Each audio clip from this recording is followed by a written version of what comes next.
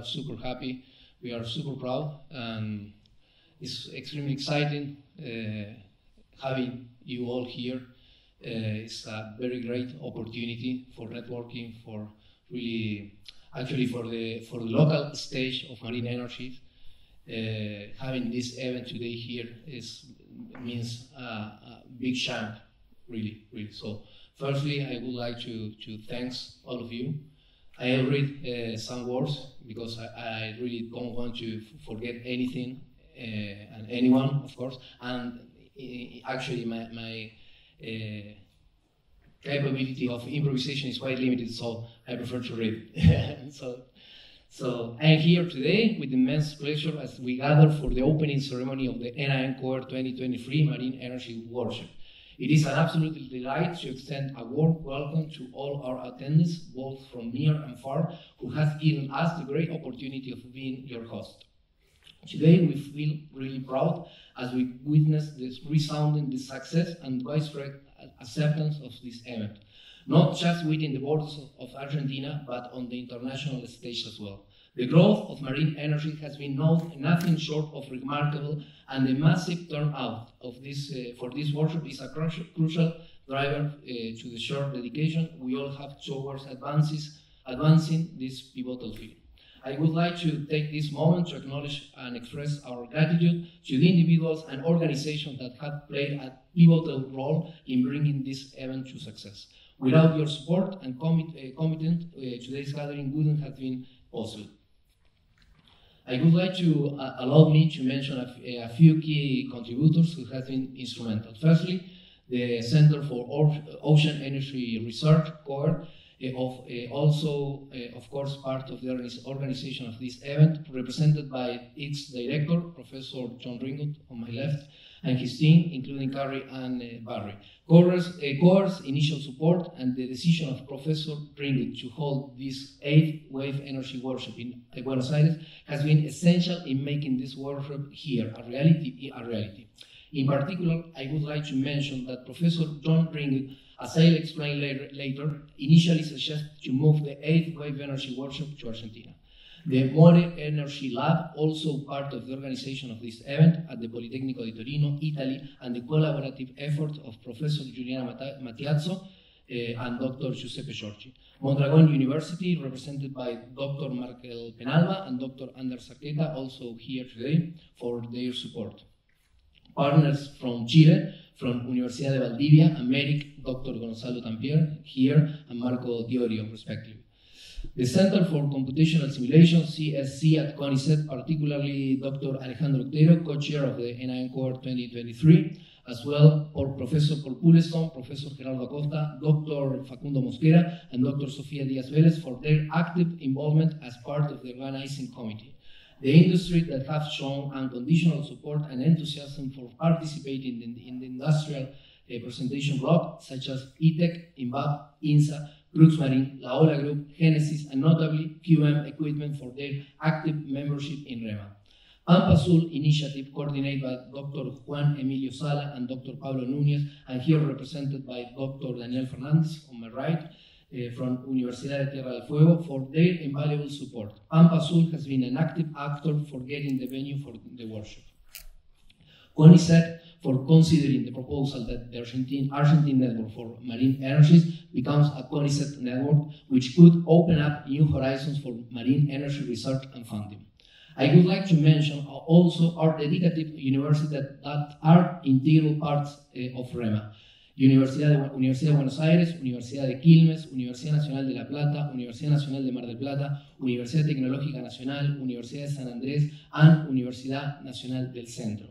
The National Water Institute, INA, particularly Dr. Eh, Pablo Garcia, Dr. Mariano Re, and Dr. Nicolas Tomasin for their contribution to the field, but mainly for being active part of REMA the Ocean Engineering Society and IEEE Argentina, represented by Professor Gerardo Acosta, and their continuous, uh, for their continuous support. Sorry. Last uh, but not least, we thank the Ministry of Science and Technology, MINCyT, for their unconditional support, particularly for providing the Centro Cultural de la Ciencia, C3, which emphasizes the event's priority and underscores their dedication to the growth of marine energy. This combined effort and support has transformed the vision of ENAEM COER 2023 into a reality, and we are deeply grateful for uh, your commitment.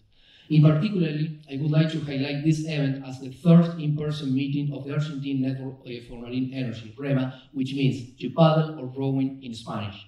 REMA is resolutely committed to promoting transformative change by facilitating collaborations among academia, industry, government, and the scientific community. The mission of REMA is to consolidate a national network that not only advances scientific research and technological innovation, but also underpins the development and utilization of marine renewable energies in Argentina.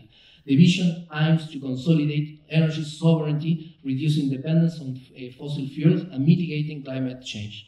To achieve these objectives, REMA has laid on a strategic framework that involves evaluating and characterizing renewable energy resources, disseminating scientific technological capabilities, and establishing a network of oriented laboratories to push the boundaries of marine energy possibilities and foster an ecosystem for sustainability. Through these endeavors, REMA strives to contribute to a brighter and more sustainable future for both Argentina and the global community. The national, uh, the Argentine Network for Marine Energy started with very small virtual meetings. It was just a short while ago, in December 2021, when, uh, uh, when REMA had it handled beginnings with only 15 participants. The enthusiasm and shared vision of this initial meeting set the foundation for what we have today. Uh, then REMA moved to the in-person gatherings. In April 2022, just one week before the seventh COER wave energy workshop at the Politecnico di Torino, first time outside Ireland, we had uh, our first uh, in-person meeting in Mar del Plata. It marked a significant turning point in the journey of REMA. It was during this time that Professor John Ringwood suggested to holding, uh, holding the ENAEM COER 2023 here in Buenos Aires. It was a proposal that we initially hesitated to accept, even we refused, given the magnitude of this event. Yes, his perseverance uh, finally won. Uh, so that's why we, we, are here today. So Rema, uh, but also personally, I would like to thank Professor uh, Ringwood for, for this. Today, is, it is incredible opportunity for the REMA, not just for the growth of marine energy in Argentina, but also for the, uh, for the entire region. This event goes beyond knowledge sharing. It represents a vital bridge between South America and European partners. It is an event to reach across borders as we collectively advance the frontiers of marine energy research and development. The future holds immense promise for REMA. REMA is about to transition into a CONICET network, which will provide us with a solid platform to extend the potentiality in terms of project, research, funding, and more. This transitioning is evidence of the dedication of everyone involved in, uh, and a recognition for, of the critical role that REMA plays in the marine energy landscape. As I said before, the objective of REMA goes beyond the confines of research. Our mission is to promote not only collaboration among academia, uh, academic and scientific community, but also to forge robust links with the industry. We believe that the strength of our network lies in the bridge, uh, lies in, in, the bridge we build uh, dif uh, between different sectors. Together, we can create a sustainable ecosystem for the development of marine renewable energies. It is with, with great, great enthusiasm and optimism that I stand before you today as we inaugurate the ENAEM COER 2023 Marine Energies Workshop. We are deeply hopeful that this gathering will not only serve as a platform for the exchange of knowledge, but also as a catalyst for strengthening connections within academia and with the industry. The potential for collaboration and innovation in the field of marine energy is boundless, and it is my sincere wish that this event will mark the beginning of enduring partnerships that drive progress and transformation. I hope that you make the most of this incredible opportunity. Let's, let us collectively harness the energy and expertise present in this room to, far, uh, to further the growth of marine energy, not only in Argentina, but uh, also across the region. Our combined effort has the power to redefine the future of sustainable energy and contribute to a greener and more resilient world. Lastly, I would like to express my heartfelt uh, gratitude to all of you for your presence here today. Your active participation and engagement are the cornerstones of what promised to be a fruitful and insightful workshop. I sincerely, sincerely excited about the days that lie ahead and discoveries, collaboration, and innovation that will undoubtedly unfold during the ENAEM COER 2023. Together, let us embark on this journey uh, towards a brighter and more sustainable uh, future. So, thanks very much for listening, and that's it. So now I can.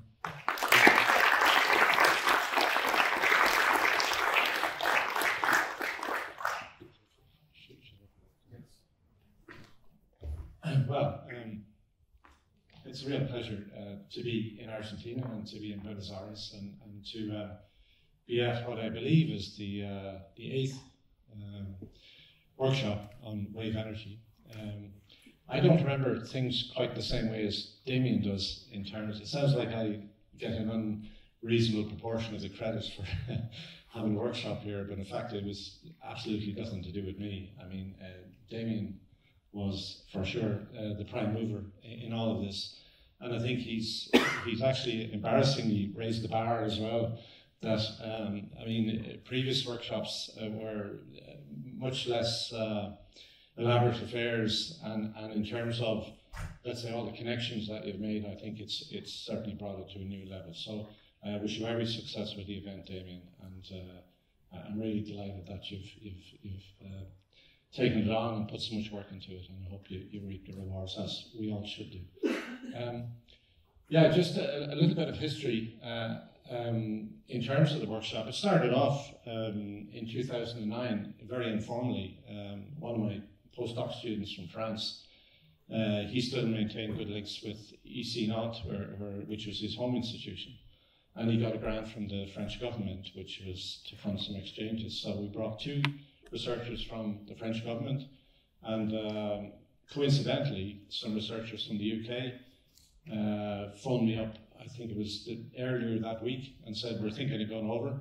And said, Well, why don't you come on Thursday and Friday? Because the French guys are going to be here. So that was the first workshop. And I think probably there was somewhere between 10 and 15 people at it. And we, we sort of enjoyed the interaction and the, and the informality of it.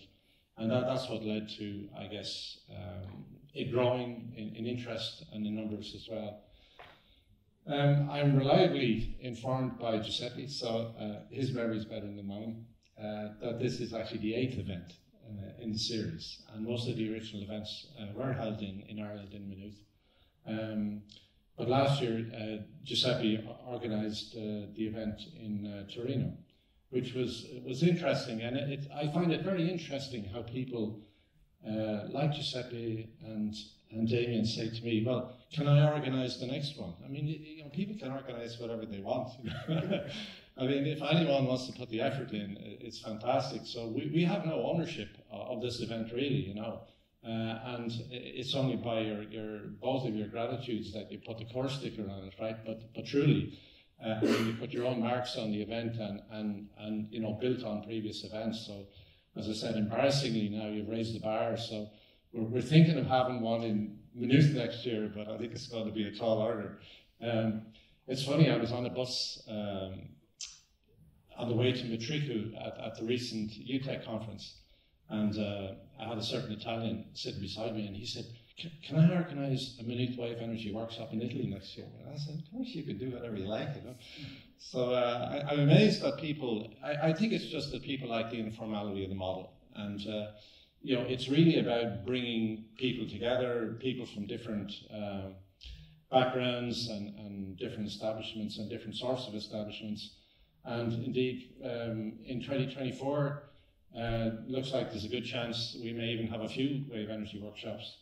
Um, and, you know, I mean, it's great that people have made the effort to travel here, but it's, it's very much a local event as well. And I think, you know, both Giuseppe and, and uh, Damien brought that flavour to it. And it's really about getting people together at a local level with some input, of course, from, from international people where, where that's possible. So uh, an ex-postdoc of mine, uh, Bing Guo, um, he's, he wants to organise an event next year in Xi'an. So if, if any of you have the travelling bug, uh, you can put China on your list as well if you like to follow the series. Um, I think probably uh, at the moment I'm the only person here who's been to all of them. You know, it's a bit like they started the Dublin Marathon in about 1980, and there's people who run all of them, you know. Well, I'm not one of them, but I've been at all the Wave Energy workshops, you know, and hopefully I'll be at a few more to come. Um, and indeed, in that respect, 2025 is open. So if anyone would like to organise a workshop anywhere in the world, they're more than welcome. Uh, and we'll offer whatever uh, help and assistance that we can. So the focus is on, on networking. Uh, we, know, we don't have formal papers, we don't have a reviewing system. It's basically just to, to, to, to get a bunch of people together from different backgrounds, from, you know, from academia, from industry, uh, from agencies and various other organisations.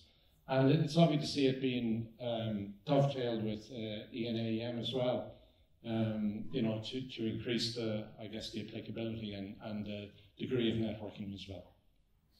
So I wish you every uh, success with the event, Damien, and I hope that, that you do enjoy the event.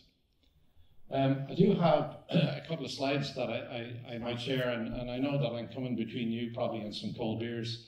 So I'm not going to hang around too long here. There's just a couple of small slides, but uh, maybe worth reviewing as we, we go into the workshop to keep in mind uh, maybe what some of the major issues are. Now, I don't expect you to read all of this. You'll be happy to know, and there will be no examination at the end of today either. Um, and it's just really to chart the major milestones um, that are there in wave energy um, R&D. So, you know, uh, a lot of people will be aware that the first patent of wave energy was, you know, before 1800. Uh, uh, sorry, uh, yeah, before 1800, uh, which is a long, long time ago, and, and wave energy has progressed relatively slowly. and it's gone through various troughs and, and peaks in the meantime. I mean, it, it, sort of started as an interesting possibility, and uh, Yoshio Masuda's navigation buoy was the first real ocean implementation and it's an interesting one because you know it's one of those niche applications. I mean, most of the focus now in wave energy, for example, is on utility scale electricity. Um, but maybe we need to look at other alternatives to get wave energy to commercialization stage. Uh, but anyway, Masuda did that in, in 1965. So he was a, a naval officer in the, the Japanese Navy. Then um, there was an oil crisis. And of course, when, and you know, we've had energy crisis recently as well, uh, uh, certainly in Europe, that a lot of people will be aware of. And you know, the, the cost of energy has gone through the roof. Ireland, for example, is very um, is in a very precarious position because virtually all of our energy is imported. So we're right at the end of, of all of those uh, uh deliberations and and, uh, and events. So uh, equally, Ireland has got quite a good uh, renewable energy resource in terms of wave and wind and some tidal. Uh, we don't have a lot of solar. Most people who've been to Ireland figures that it rains most of the time there. So maybe solar isn't it. But you know, there's two parts to it. One is supplying uh, the energy demand, and the second is energy security. Uh, which is not an insignificant issue either. And, and that's a big issue for Ireland at the moment. But anyway, this oil crisis spurred a lot of development. And that's a lot of the, the, the initial, um, who are now we, we would call the godfathers of wave energy, come into to actions such as Stephen Salter with his Salter Duck. And then uh, some, some of this, this work here uh, from Johannes is from uh, Norwegian University of Science and Technology. Uh, so that, that progressed at, at a pace, uh, but then um, the price of oil dropped. And when the price of oil drops, then the, the interest diminishes because you've now got cheap energy from an alternative source, and certainly you can't compete with it. Um, I remember being at OMAE, Offshore Mechanics and Arctic Engineering Conference uh, in St. John's 2015. And it's, it's a strange conference because it, it combines people from the oil industry and renewable energy people, right, with common interest of ocean engineering. Um, and you would normally think that these two communities have very little in common. Uh, but in fact, I do remember being at a table with uh, an oil and gas guy from Texas, and we were both crying into our soup because just around that year and the previous year, there'd been a serious drop in the price of oil. So he was putting people out of work down in the Gulf. And, and from my perspective, there was little interest in wave energy because now it was back to cheap oil again. So, um, you know, the price of oil has been a major decision factor in the level of interest in, in renewable energy and, and wave energy in particular. But then uh, the Kyoto Protocol was signed and, and attention drew, uh, was drawn to you know, the, the, the, needs in terms of uh, CO2 reduction, and that spurred uh, a whole range of, of uh, commercial uh, outfits. But then, unfortunately, um, you know, we, we, reached a point where a lot of those got to uh, quite a large scale. So, for example, Pelamis, I think they had spent the order of between 200 and 250 million UK pounds. Aquamarine Power around about the same level. Um, so they were there, you know, things were getting expensive as you go to large scale with, with large workforces, and they just didn't get over the line as far as, as breaking sort of commercial barrier was concerned. And that led to a lot of uh, a lack of confidence in the investor community. So, uh, you know, we're, we're, back here in what, what I, I would hope, uh, or what myself and Bingyong, so this is a, a review, from a review done by, by myself and Bingyong a couple of years ago that we're in the reboot era with a, an increasing and renewed focus uh, on the need for renewables and the need for CO2 reduction via the Paris Agreement. Uh, and hopefully that, uh, along with technical innovation and some collective learning, will, will allow us to make a breakthrough. So uh, why hasn't happened? Well, it is complicated. Uh, you know, certainly my background is in control systems, as is uh, a number of other people that are here.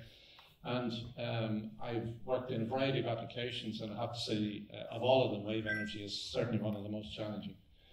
Um, one of the difficulties compared to other renewable energy sources, for sure, is that with other renewable energy sources, we generally have an idea of sort of what the basic principle is. So with solar PV, you know, we've got, okay, we've got different materials and things like that, but in general, um, you know, you know what a solar panel looks like. You know how to control it. You know, it's a question of, of altering the, the, the, relationship between current and voltage.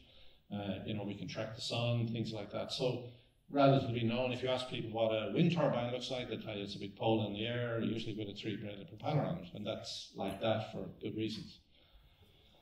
In wave energy, we have over 200 prototypes, and they're not just slight variations on the same thing. They're really all kinds of everything. Uh, so there's very little convergence in the technology, and as a result, there's very little collective learning. And uh, you know, some companies, like for example, Aquamarine Power, were fantastic in sharing all of their bad news as well as their good news that allowed people to learn from their experiences. But uh, overall, uh, you know, we're all still working away in different corners on different sorts of devices, and you know, you see some of the devices just shown here, and they're all completely different. So how much generic um, technological development or, or information um, or learning that you can take from one device to another is, is limited. It's an oscillating power flux that goes back and forth, so it has to be rectified at some stage, either at the, the hydrodynamic level or aerodynamic level, uh, mechanical level, hyd hydraulic level, or electrical level. Uh, and that's something that has to be done somewhere uh, down the line. As with many other offshore technologies, the hostile environment and maintenance is difficult. You have to target weather windows.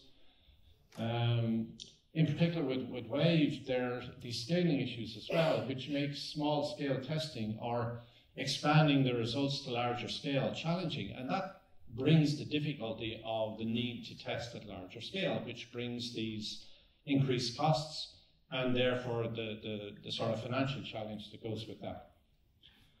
Uh, and that has been the valley of death for a number of companies, you know, who have got to the stage where they're, they're getting to full scale and then they, they sort of fall over the cliff. Um, and then the variability in in the power of waves, and but they also in their, their period and height, they require adaptability, and that's where control comes in that some of us are, are working on.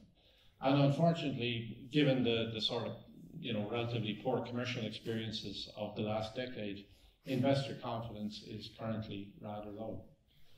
So if you look at all the players who are involved, um, you know, there, there, there are various types of people and various types of activities. Uh, and there's a big supply chain as well as fundamental R&D. So you can see there's, there's, you know, and it's very multidisciplinary and diverse, requiring lots of different people and lots of different sorts of people from lots of different sorts of agencies uh, and institutions. Um, in an ideal world, we would have this sort of virtuous circle of industry, academia, and government who, who work hand in hand, but it's rarely the case. You know, I mean, for those of us who are, who are in the room here, we, we've all had our trouble probably interfacing with one or other of these uh, other institutions or other uh, uh, collections of people. Um, and there are lots of different aspects that, that will lead to a, you know, hopefully a, a healthy wave energy market and, and technology development. The market has to be there as well, and there has to be some sort of certainty uh, given to project developers so that they can see 20 years or 25 years ahead that there's going to be some benefit in doing what they're doing, which again is going to create the hunger for technology, and hopefully that will um, uh, all, uh, you know, I guess work together to, to, to move things on. And there are some interesting role models. So, I mean, Denmark, and we use Denmark as a comparator in Ireland a lot because Denmark has roughly the same population as Ireland. It, it came from a primarily agricultural background. I mean, the population is, you know, about four, four or five million from an agricultural background. But they made a serious decision in the 70s to, to, go, to go with wind. Now, you could argue that wind is a little bit easier because it's more incremental uh, rather than being sort of, you know, it's more evolution than revolution. Where wave energy, really, nobody knows what the right answer is. Uh, but people had an idea in wind energy and it was more of an evolution. But what was fantastic about the Danish model was that, you know, it started with some serious political movers. And then they created this, this sort of innovation uh, environment, which included support from the government, uh, but also this, this environment where industry could work with academia and, and intellectual property was protected in, in the correct way, uh, but not restricted. And it was spread across all the, the, the researchers and developers uh, to maximize the, the, the advantage. Um, and interestingly, you know, following two big company fallovers in Scotland, which were Aquamarine Power and Pelamis, Wave Energy Scotland was set up more or less at the time to protect uh, and uh, further and develop the, the intellectual property that those companies had developed. So they've invested, since they've invested about uh, 200 million UK pounds, uh, and they, they really have improved the, um, uh, the infrastructure. Again, not, not too far away from the Danish model, where you know, intellectual property is, is shared but protected in a sensible way. And that creates an environment where everyone can, can uh, sign up for. So, uh, can we do it? Well, I suppose there's an imperative to do it in terms of climate action, that's for sure. The resource itself is, uh, in wave alone, is enormous. It's, you know, nearly 30,000 terawatt hours per year, and, you know, I, I, don't have a more recent figure, but the, the, the global consumption in 2018 was just 22,000 terawatt hours. So we, we could actually uh, cover all of our needs in an energy sense. It doesn't mean to say, of course, that you know, when you want to turn your lights on, it's going to be wave energy there to do it. I mean, there's, there's a temporal issue as well. Um, and then there are other re relatively untapped marine renewables, such as uh, tidal is relatively untapped, but yet there are barrage systems that have been in operation since around about 1960 and work well. Uh, the, the, beauty of tidal barrage is that it has a storage element to it as well. Uh, there's ocean thermal gradient, uh, salinity gradients, so for example at the, the, the mouth of the, the Plata River uh, floating solar, and then there are combinations of these which could share infrastructure and reduce the costs as well. So, um, who is going to do it? Well, you know, it has to be a collection of people from a lot of different backgrounds and, and a number of different technical disciplines that are involved as well. And certainly some jurisdictions are either more advanced or more focused than others. So, for example, Scotland is probably one of the hot, hot houses at the moment for the development of wave energy. But you can see where that's driven from. It's actually driven from the top. It's driven from the political system that has put and invested in Wave Energy Scotland, and Wave Energy Scotland has in turn incentivized developers and researchers to get involved. Um, and that's you know one of, one of the key places at the moment. So I would say the biggest step is political will. Again, going back to the Danish model of wind. So uh, let's maybe think about that for the next few days. And, uh, you know, um, let's bring all of our, our efforts and, and resources to bear and, and try to make, make some, some moves forward. So that's all I have. Thanks.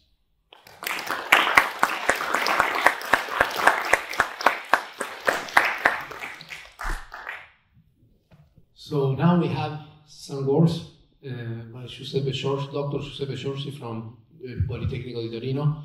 So thanks, Giuseppe. Okay. The, the stage is yours.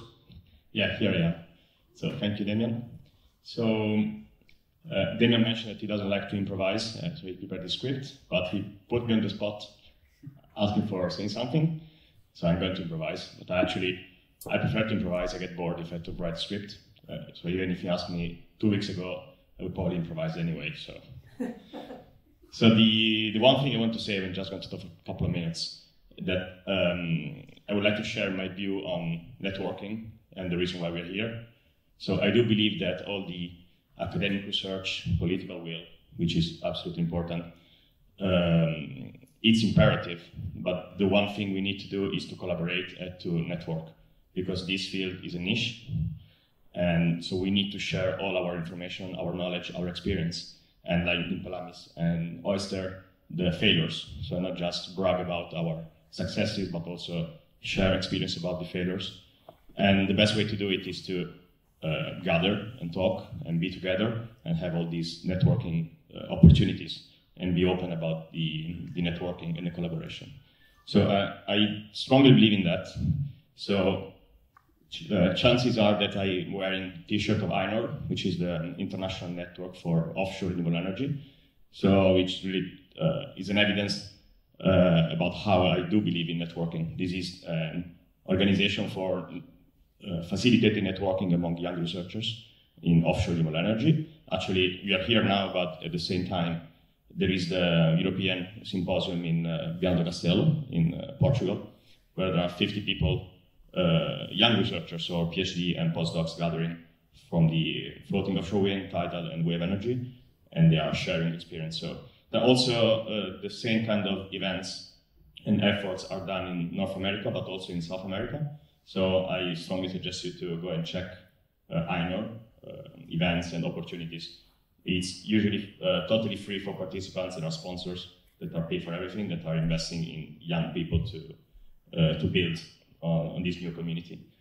And now I want to share something about the Wave Energy Workshop, which is um, has been always present for me as well. I wasn't there at the very first one, like John, but um, I started my PhD in 2015 in January, and after two weeks, I was at the first uh, Wave Energy Workshop for me in Maynooth. Uh, there was the fourth one, I guess, um, where I was really through there. and I was exposed to a lot of new stuff. And it was my first month of my first year of my PhD. Then after two years, uh, John gave me the opportunity to speak. I was still in Maynooth. Um, so I was a speaker. And then the next edition was 2019. I was back in Italy to the Marine Offshore Renewable Energy Lab in Turin. And John invited me to go to Maynooth.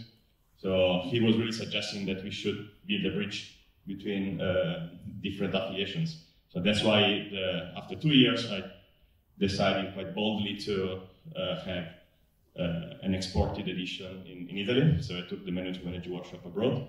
And last year, I have to say, was a, a huge success. And we inspired Demián to, to do the same and go even farther away uh, to Argentina. So what I want to say now, and I will close, is that Demián really uh, did a lot of work, a wonderful work. And his shoulders are quite heavy now. In a couple of days, they will be lighter. So I want to thank Demián and celebrate tonight and tomorrow and in two days. Thank you, Demián.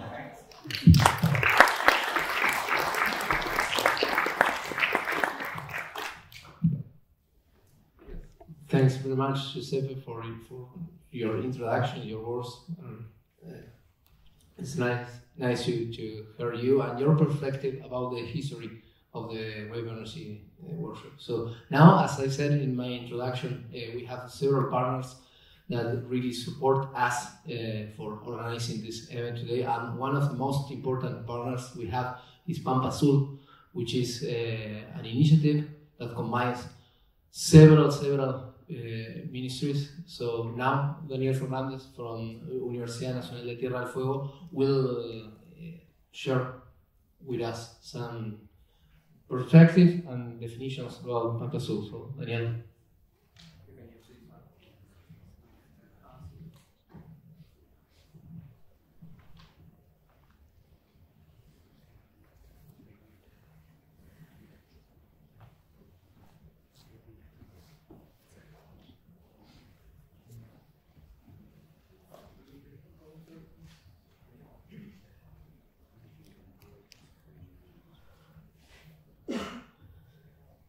Well, good afternoon to everybody. So I'm very happy to, to be here and to share a little bit of information about the Pampa Azul initiative.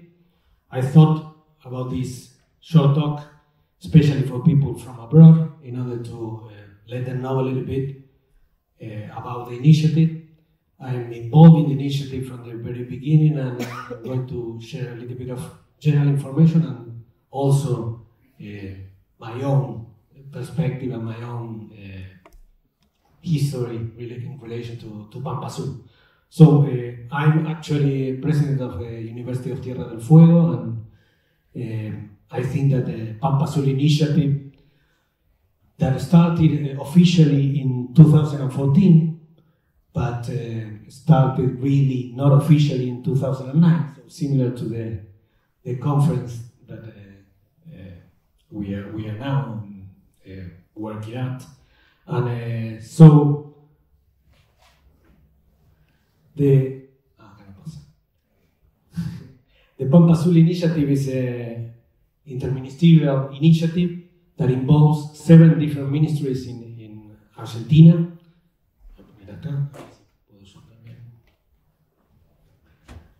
And uh, as I said, it started in 2014.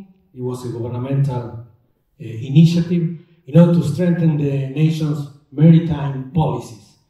Policies like uh, conservation, biology, conservation of natural resources, but also sovereignty, and also uh, in order to learn more about the, the Argentinian Sea and to be able to uh, develop and administrate marine protected areas. And uh, that came also with a new perspective of the Argentinian uh, country itself, like a bicontinental uh, perspective that you can see in this map that is in the right side of the screen. So we find out, we learn, and we are trying to uh, have this new perspective where the sea is quite important, as, as important as the land of our country.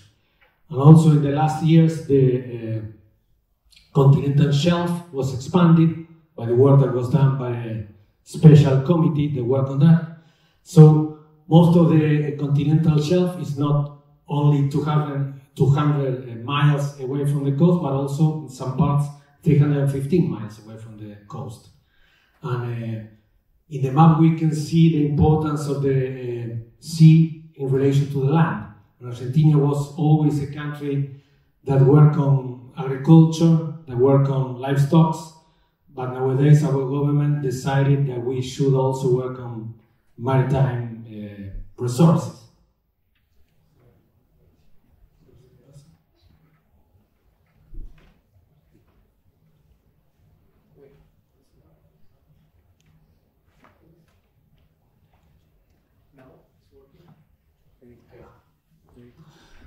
So, uh, as I said before, there are seven different ministries involved in this uh, initiative. The Ministry of Security, the Ministry of Defense, Ministry of Foreign Affairs, Ministry of Economy, Ministry of Environment and Sustainable Development, Tourism and Sports, and of course, uh, Ministry of Science, Technology and Innovation. And that's not very common in Argentinian history. I mean, I'm marine biologist myself. I work in things related to the sea, and it's the first time we have a project like this that involves uh, so many parts of the government and also uh, that allow us to, to work in a different time scale and in a different geographical scale. Myself, I work in uh, Tierra del Fuego, in Ushuaia, and I moved there from Buenos Aires in 1994. And until uh, Pampa started, I was always working very close to the city like probably, I don't know, a few miles away from the city. I never had the opportunity to work in the Argentinian Sea and less to work in Antarctica. And after 2009, we were able, all the people that work in Argentina in relation to the sea, to work every year, every summer in the Argentinian Sea and also to go to Antarctica.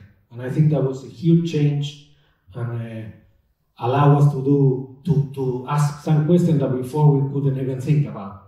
And that's important, and the support of this kind of uh, initiatives for many years is something that changed uh, our way of uh, doing science in Argentina, at least in relation to the sea.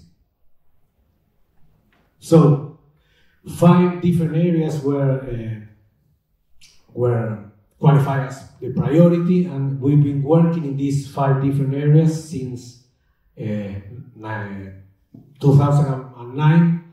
Eh, the Rio de la Plata River, the fluvial and marine system that is close to the Rio de la Plata River, the shelf-break front, there is a front.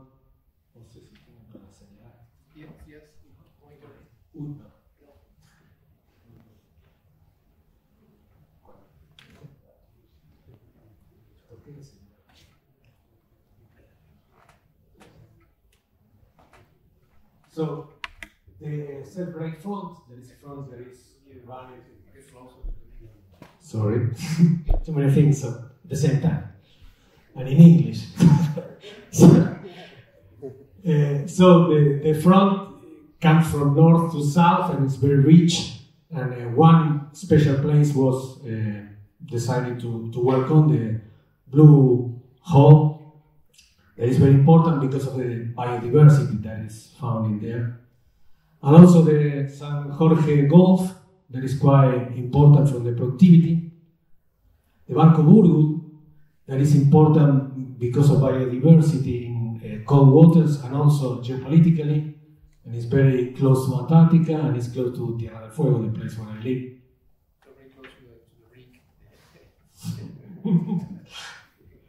And uh, finally, the last one, uh, Georgia's and Sandwich Island.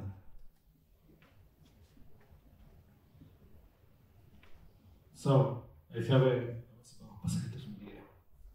short video about it.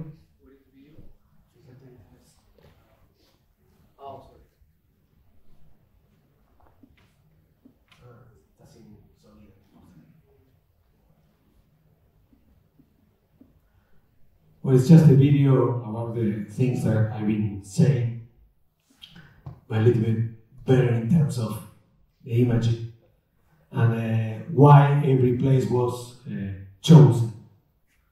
Some of the places are rich in biodiversity, some of the places are rich because of the productivity, and as I said before, also geopolitically, some of the places are important for Argentina, and that's why we would like to learn more about those places.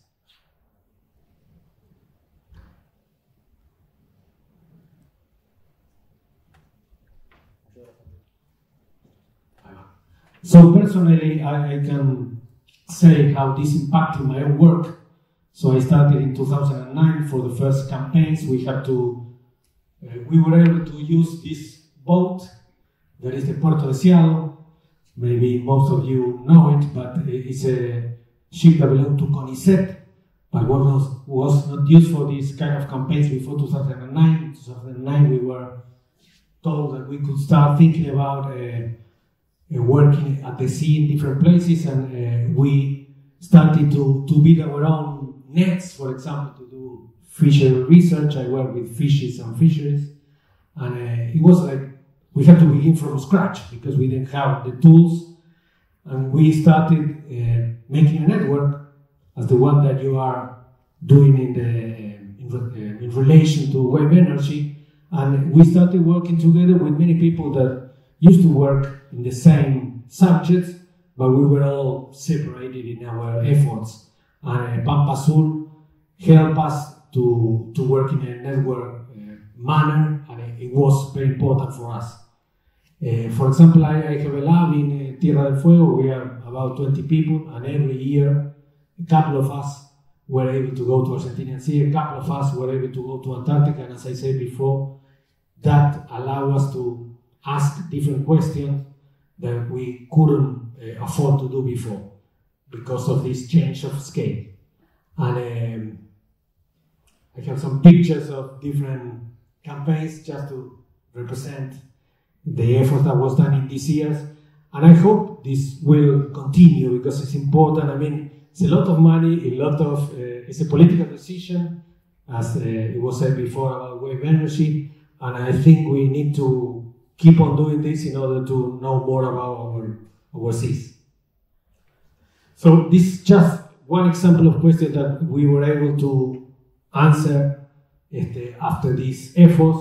You have uh, some maps in the top of the image, the maps for different uh, stations of the year. So you have winter, autumn, spring, and, and summer of the Argentinian Sea, and you can see because of the amount of chlorophyll, the productive places in the Argentinian Sea. But these are integrative uh, data, no? So you have three months in, in each map, and maybe you miss things that happen in a different scale. So you have, oops, sorry. You have a, a satellite image here of a, play, a moment that we done a campaign in Namuncurá, Banco Burdwood, and at that moment you can see like a bloom, algal bloom in the part of the bank that you were not able to see in any of these maps. So, working at a different scale, at a different time scale, if you go to a place several weeks in the year, several months during the year, you can learn things that maybe with integrative data you cannot uh, learn. And that's important for us because, for example, in this place, in the Namuncurá Banco Burdwood, there are a lot of phytoplankton blooms we learn now, so it's a very productive area, even if we don't see that in these maps. It's a place for uh, nursery of different species of fish, like, no sé, uh, merluza negra, a species that we know quite a lot and it's been explored in the Southern Ocean quite heavily, and uh, many other species that are related to, to Antarctica. So the research areas were biodiversity conservation, climate change, geological and geophysical exploration, fisheries research, environmental risk management, management and human activities and coastal marine environment. Many universities work in these campaigns. All the universities that are at the coast of Argentina were involved. And as I said before, we were able to, to build a network that is already working and allow us to, to, to work in a better way than before. Also, there are a lot of things related to technology, and I think this is the strong link with this uh, Congress because uh, we, we have to build our own nets. As I said before, we, we need to, to our own traps, but also we learn about the problems that we have with our neighbor industry and the, the not, not enough vessels that we have for doing this, this research, or maybe if we need to to build a new vessel, we couldn't we couldn't do it in Argentina for some reason. And uh, the energy and mining industry could be already are already involved, but could be involved uh, more strongly probably in this kind of efforts. And in this congress, probably we talk about some of these subjects that we, we have to develop. And uh, well, the other things I, I already said something about the fishing, tourism, especially tourism related to Antarctica. That is something that is growing a lot in these years. Finally, uh, there are different networks related to technology. One is the REMA, that I don't know if already belongs to Pampa Azul, but I think uh, the subject that you talk about and you uh, do research about has to be related to, to uh, of course. There are other networks like Roma, Marine Observation Network, that is quite incipient, but there are a lot of uh, efforts in, in, building this network. Uh, two or three weeks ago, we have a meeting in Tierra del Fuego, and some of the first uh, apparatus in order to uh, do monitor the, the sea were installed two or three weeks ago and this effort is, is, an ongoing effort. And some other ones have been uh, working for, for many years already. And finally, uh, the universities are also involved in, in human resources training program. Two years ago, there were 15 uh, grants for each university that are located at the coast of Argentinian Sea in order to have more people studying the sea. And also we decided, because we think that it's a complex, this is a complex uh, subject, of course, we need to uh, work in a interdisciplinary way in order to learn more about this complex subject. So the grants were not only related to biology or geology or environment. We have uh, grants for economy, for history, for politics, and we think we have to go on in that way. I mean, trying to make a to, to learn more about this complex subject, studying it in the whole complexity that it has. I'm saying always this is the Laban, this is the Laban uh, for sure. And there, there's one thing going on in Tierra del Fuego, and is uh, we are trying to uh, make a more complex uh, productivity matrix of the province. The province uh, has some exemptions of, uh, how do you say? Um, taxes. Going taxes. Thanks. Going out of work. Uh, and uh, so we need to, to build new or to have new projects in order to build new equipment to go further away from TVs and cell phones and some other things that we are building. And the companies have to invest some of the money that they are not paying in taxes in these new projects. And from the university and with the help of all the other public universities of Argentina, we are thinking which subject we could work on. And some of the subjects that we think we, got, we can work on are related to, uh, to the sea, are related to marine technology and marine energy. And I think that maybe some of the things that we are going to listen in this conference could help us think if we can develop some of this stuff in, in Tierra del Fuego. That would be quite important. And uh, I really would like to stay here these two years, two, these two days, the next two days, but I have to go to, to Mar del Plata because we have a, a conference on Pampa as well tomorrow and the day after. So unfortunately, I'll be here only today. Thanks a lot.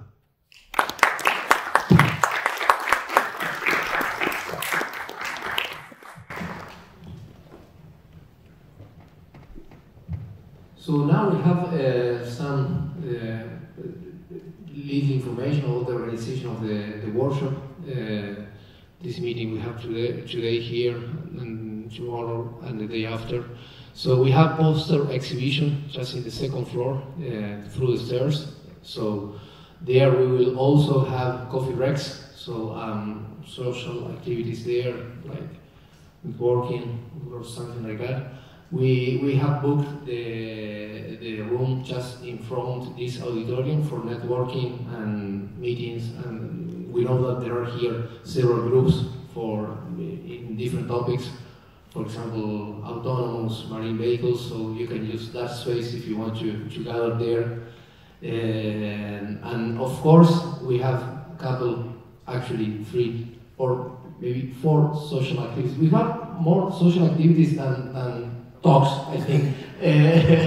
but we have uh, we have uh, today uh, snacks and drinks and beers, of course, just in the, in the building next to this one. So, do we have a name for the building? Or a name for the building?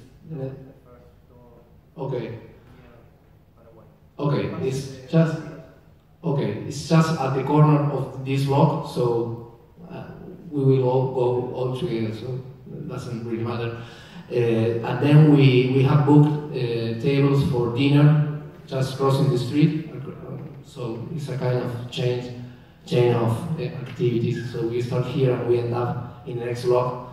Uh, and then we have tomorrow pres mm, sorry, presentations. We have coffee breaks, poster exhibition, exhibition, as I said, in the second floor through the stairs. Um, then we have, again, beers and dinner uh, in, I don't know exactly where, but we have all the information in the web, on, on the website, sorry. And same thing on Wednesday. Wednesday. If you have questions, you can ask us. And we are here to, to assist and help you to have a very, very productive and nice stay in, in Buenos Aires for, for this workshop. So that's it.